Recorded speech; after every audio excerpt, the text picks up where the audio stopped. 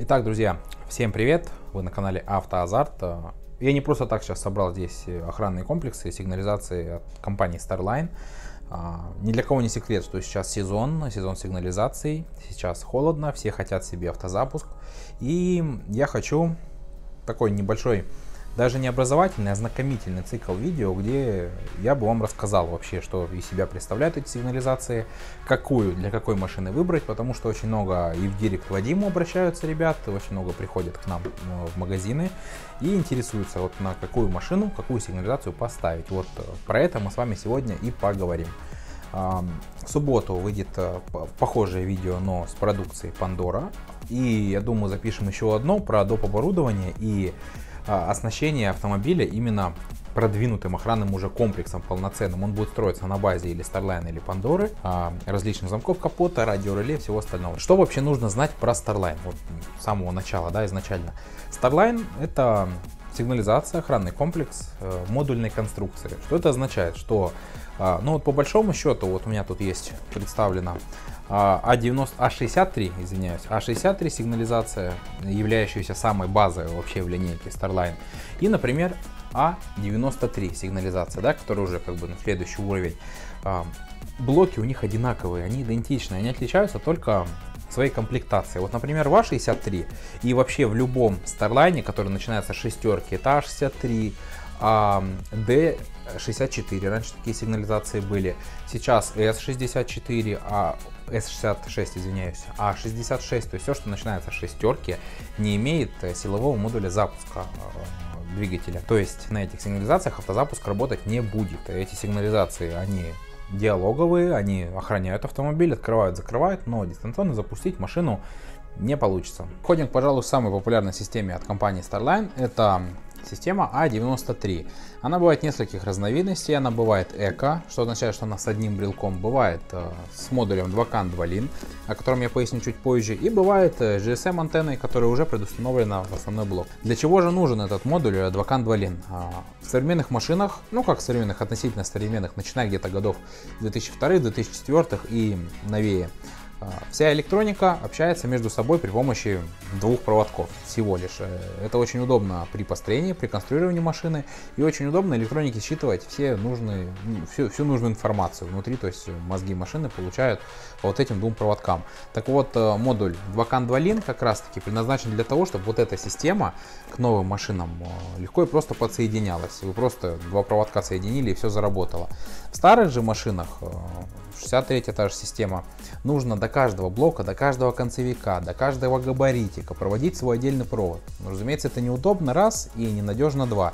А вот э, в машинах моложе 2002-2004 года скан шиной, э, берем сигнализацию 2 кан 2 лин, и у нас все четко и, и круто работает. Но, к сожалению, это не, не означает, что вы можете сами сесть на парковке в Ауре, соединить два проводка, и у вас заработает охранная система. Если проводка, все замкнет, все сгорит.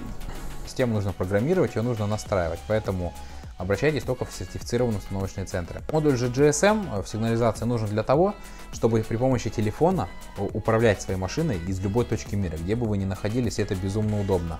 Особенно, когда машина стоит на подземном паркинге где-нибудь, там вы пошли в торговый центр развлекаться, хотите машину заранее завести, брелок, разумеется, не ловит, с телефоном ловит, без проблем. Еще одно, а, еще один пример, который мне очень нравится, это, например, у нас бывают разные ситуации в жизни. Бросили машину на парковке, ну, на 5 минут буквально побежали, там куда-то нужно заскочить, выйти.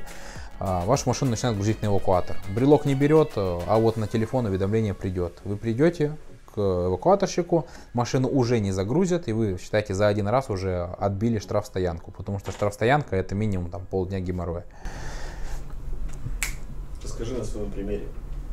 Когда мы улетели в Екатеринбург, а ты не отключил усилителя, по просаду напряжения у тебя машина заведет. О, кстати, примеры из моей жизни, сейчас мне Вадим подсказал. А, я автозвукер. И так получилось, что я забыл отключить усилители, а мы с Вадимом улетели в Екатеринбург по, по важным делам. отдыхали там, соревнования проводились. И мне смс пришла на телефон, что аккумулятор разряжен. Типа, я такой сначала не понял, что за фигня. Зашел в приложение, посмотрел действительно напряжение на аккумуляторе 11,5, надо что-то делать. Завел машину, и по итогу аккумулятор у меня не сел. Я ее там периодически раз в день заводил, и все, она дождалась меня. Я приехал, обнаружил, что у меня все усилители в системе, они все включены и высаживают аккумулятор. Ну вот вам, пожалуйста, примеры жизни, когда это мне очень сильно помогло. А так бы прилетел, обнаружил бы машину с мертвым аккумом, еще бы аккум новый пришлось покупать. Короче, лишние нервотрепки. Зачем все это нужно? А, но не зря 93-я система предыдущего поколения, а системы нового поколения это 96-е. Конкретно у меня сейчас в руках E96, но также в шестом поколении есть система S96, о которой мы тоже поговорим, A96, B96 очень интересная и AS96. Что же принципиально нового добавилось в сигнализации шестого поколения?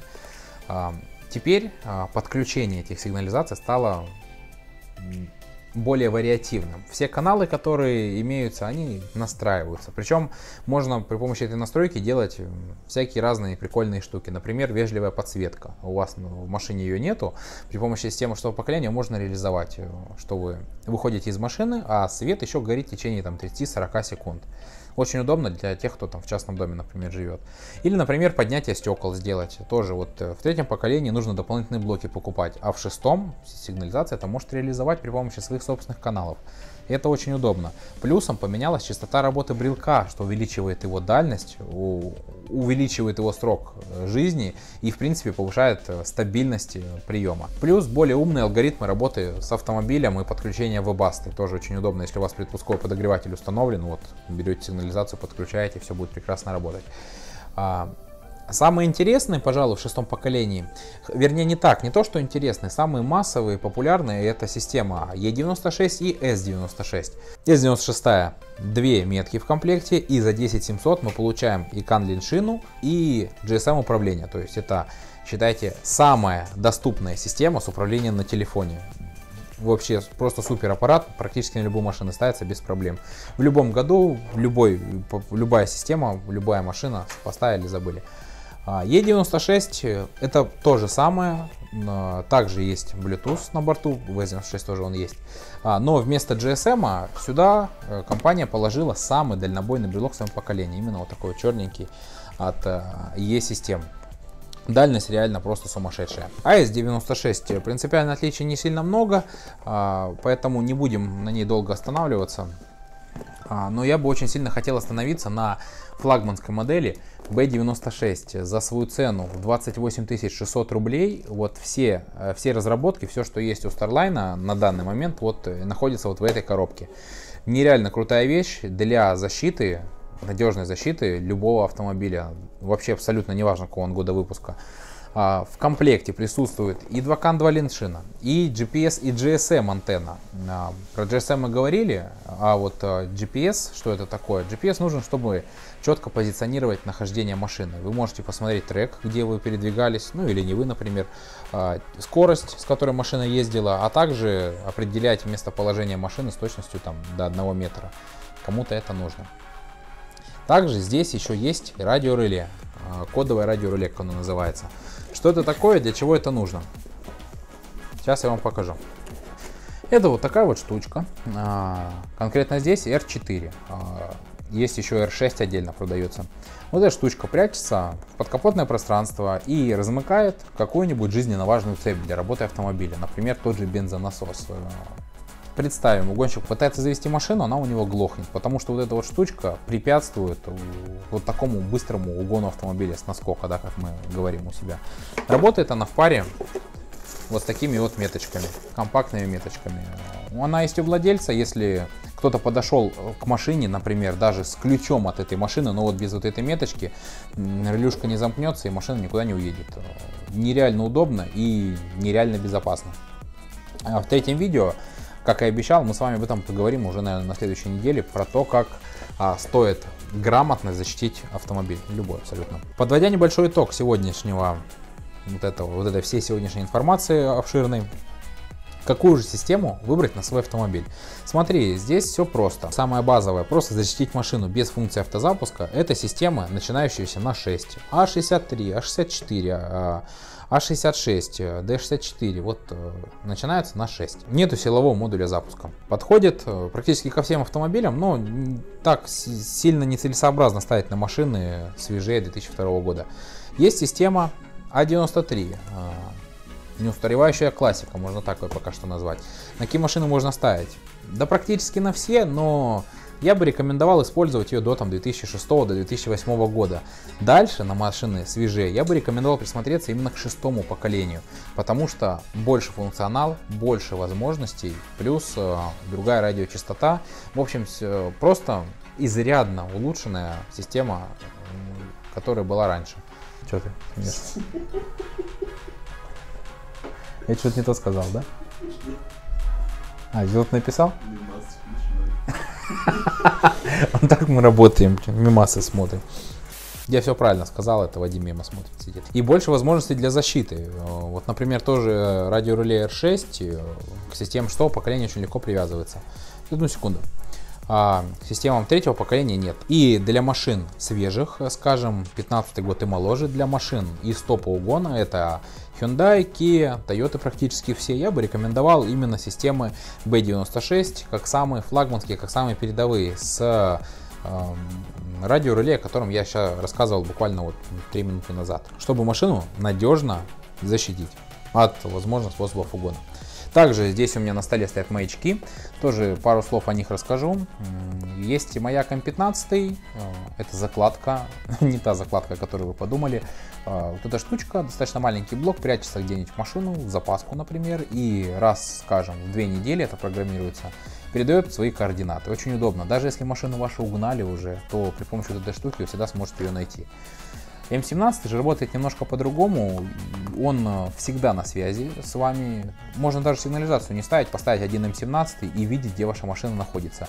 К сожалению, управлять вы ей не сможете. Большинство считает, что сигнализация это функция комфорта, подразумевает под комфортом функцию автозапуска. Но как мы тут сейчас э, сидели и заметили, что Комфорт это не только завести машину утром, комфорт это в принципе поехать на своей машине на работу.